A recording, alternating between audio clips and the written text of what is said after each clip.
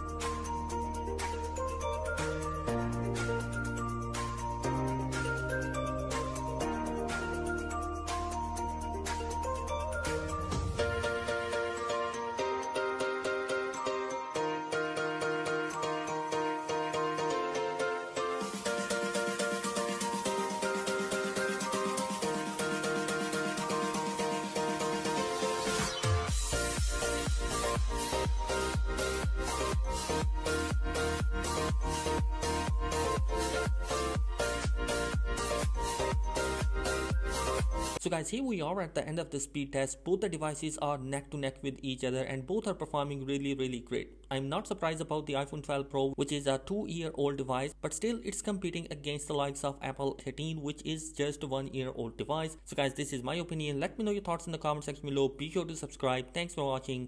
Peace.